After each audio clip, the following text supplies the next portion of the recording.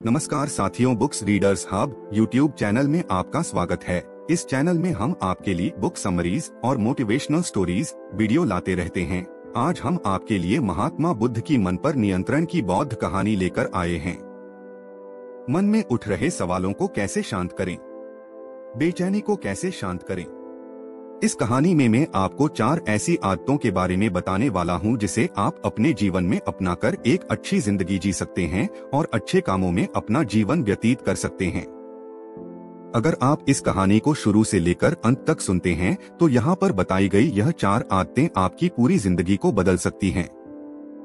ये चार आदतें छोड़ दो, मन हमेशा शांत रहेगा एक बार किसी राज्य का राजकुमार महात्मा बुद्ध के पास आता है और वह महात्मा बुद्ध से कहता है, आप हमेशा कहते रहते हैं कि ध्यान करो ध्यान करो। लेकिन मेरे लिए ध्यान करना तो दूर की बात है। मैं कुछ समय के लिए अपनी आँखें बंद करके शांति से भी नहीं बैठ पाता हूँ। मेरा मन इतना बेचैन है कि यह हर समय कुछ ना कुछ सोचता रहता है। मैं जब भी ध्यान करने बैठता हूँ तो मेरे अंदर विचारों का तूफ़ान आने लगता है। लोगों के बारे में सोचकर, अपने जीवन की बीती घटनाओं के बारे में और अपने भविष्य के बारे में और ऐसी ही ना जाने कितने सारे अजीबोगरीब विचार लगातार मेरे मन में आते रहते हैं, मैं इन्हें रोकने की बहुत कोशिश करता हूँ। लेकिन जब मैं इन्हें रोकने में असफल हो जाता हूँ तो मैं ध्यान को तोड़कर बैठ जाता हूँ। इतनी बातें कहने के बाद वह महात्मा बुद्ध की ओर देखता है और कहता है, बुद्ध, आप मेरी इस समस्या का कोई समाधान बताएँ। बुद्ध ने कहा, मैं क्या समाधान बता सकता हूँ? सोचो, तुम्हारा ही मन है, लेकिन यह तुम्हें कुछ देर तक आँख बंद करके बैठने भी नहीं देता है। कितना आज़ाद कर रखा है तुमने इसे? राजकुमार ने कहा, बुद्ध, मैंने बहुत सोचा, लेकिन मुझे अपनी इस समस्या का कोई समाधान समझ नहीं मिला। इसलिए मैं आपकी शरण में आया हूँ, अब आप ही कोई रास्ता दिखाए। बुद्ध ने कुछ देर तक राजकुमार के चेहरे की तरफ़ बड़े ध्यान से देखा और फिर कहा ठीक है, तुम ये चार आदतें छोड़ दो और फिर तुम्हारा मन लगने लगेगा। राजकुमार पूरे ध्यान लगाकर बुद्ध की बातें सुनने लगा। बुद्ध ने कहा, पहली आदत दूसरों के मन को पढ़ना छोड़ दो। तुम और तुम्हारे जैसे ज़्यादातर लोग यही गलती कर रहे हैं कि वो दूसरों की मन की बातों को पढ़ने का प्रयास कर रहे हैं, कि अच्छा सामने वाला मेरे बारे में ऐसा सोच रहा है, और यही एक आदत तुम्हें सबसे ज़्यादा बेचैन और परेशान कर रही है। ज़्यादातर उत्सवों पर लोग दूसरों के मन की बातों को गलत और नकारात्मक तरीके से ही पढ़ते हैं।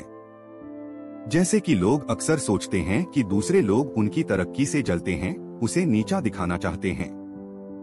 उसे पसंद नहीं करते, उसकी मदद नहीं करना चाहते और ऐसी ही ना जाने कितनी सारी नकारात्मक बातें ये लोग दूसरों के प्रति अपने अंदर बैठा लेते हैं, फिर उनके बारे में ही सोचते रहते हैं, उनसे बदला लेने के तरीके सोचते रहते हैं, उन्हें नीचा दिखाने के मौके ढूंढते रहते हैं। और दूसरों के प्रति यही नकारात्मक सोच इन्हें दुखी करती है। और फिर ये लोग बेचैनी महसूस करते हैं। इसलिए दूसरे लोग क्या सोच रहे हैं, इसका अनुमान लगाना बंद करो। दूसरे लोगों के विचारों को पढ़ने की कोशिश करना बंद करो। अगर पढ़ना ही है तो खुद के विचारों को पढ़ना शुरू करो कि तुम्हारे अंदर क्या चल रहा है। कहीं तुम नकारात्मक सोच, शिकायत या बुराई करने जैसी आदतों के शिकार तो नहीं हो रहे हो। बुद्ध ने कहा दूसरी आदत ये सोचना कि असफल हो गए हो तो लोग हंसेंगे। हंसने दो। लोगों को असफलता पर हंसना तो लोगों का धर्म है, क्योंकि अगर तुम सफल हो जाते तो यही तो वो लोग हैं जो तुम्हारी तारीफ़ करते, तुम्हें सम्मान देते, तुम पर गर्व करते। अगर तुम अपनी सफल होने पर दूसरों से तारीफ़ की उम्मीद करते हो तो अपनी असफलता पर उनके हंसने से तुम्हें दुखी नहीं होना चाहिए, और समस्या ही यही है कि हम इंसान असफलता को बुरा मानते हैं जबकि असफल होना सफल होने से भी ज़्यादा ज़रूरी है। क्योंकि बिना असफल हुए सफल इंसान के अंदर घमंड और दूसरों को खुद से छोटा समझने की भावना पैदा करती है, जबकि असफलता हमें विनम्र रहना, धैर्य रखना और लगातार प्रयास करना सिखाती है। इसलिए असफलता को बुरा मत समझो और अगर तुम्हारे काम में असफल होने की संभावना नहीं है तो इसका अर्थ है कि तुमने अपना लक्ष्य अपनी क्षमताओं से छोटा बनाया है, और अगर लोग तुम पर हंस नहीं रहे तुम्हें ताने नहीं मार रहे हैं, तुम्हारी बुराई नहीं कर रहे हैं तो तुम अंदर से मरे हुए हो। तुम अपने मानसिक सीमाओं से बाहर जाकर कुछ नया करने का प्रयास नहीं कर रहे हो, क्योंकि असफल भी वही होता है, जो कुछ नया करने का प्रयास करता है।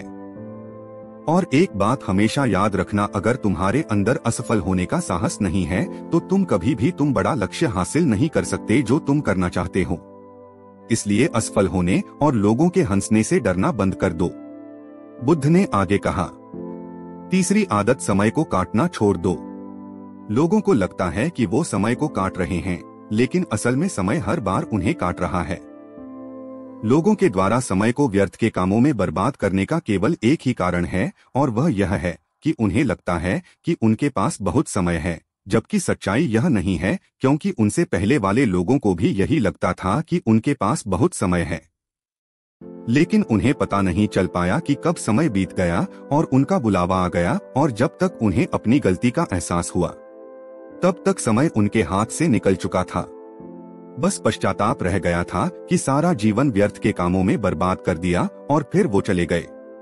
इस दुनिया से बिना खुद को जाने, बिना इस जीवन की सच्चाई को समझें। इसलिए जब तक यह जीवन है, इसे अच्छे कामों में लगा खुद को जानने में, दूसरों की मदद करने में लोगों को सही राह दिखाने में, मानवता के कल्याण में और दूसरी बात समय को बर्बाद करने से आज तक किसी को खुशी नहीं मिली है।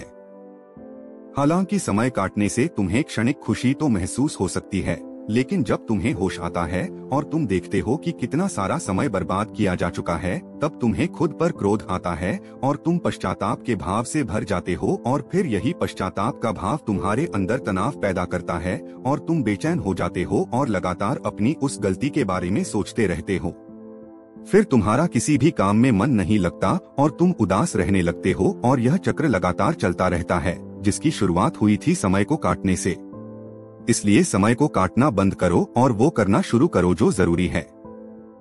बुद्ध ने कहा, चौथी आदत यह सोचना छोड़ दो कि मुझसे बड़े बड़े लोग नहीं कर पाए तो मैं कैसे कर पाऊँगा। असल में दूसरों से खुद की किसी भी चीज़ में तुलना करना ही व्यर्थ है। सबकी परिस्थितियाँ अलग हैं। सबकी सोच अलग है। और क्या हुआ? अगर दूसरे नहीं कर पाए तो हो सकता है कि तुम ही कर जाओ। क्योंकि अक्सर वही लोग इतिहास रचते हैं, जिनसे ज़्यादा उम्मीद नहीं होती और फिर हो सकता है कि जिसे तुम बड़ा समझ रहे थे, जिसके लिए तुम सोच रहे थे।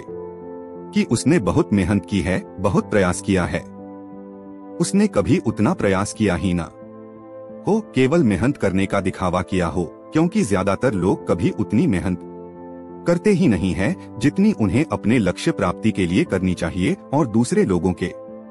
सामने यह दिखाने का प्रयास करते रहते हैं कि मैंने तो बहुत मेहनत की थी, लेकिन मेरी किस्मत ही खराब थी, और यही वो लोग हैं जो दूसरों को बातों ही बातों में कहते रहते हैं कि जब इतनी मेहनत करने के बाद मैं सफल नहीं हो पाया तो तुम कैसे हो पाओगे?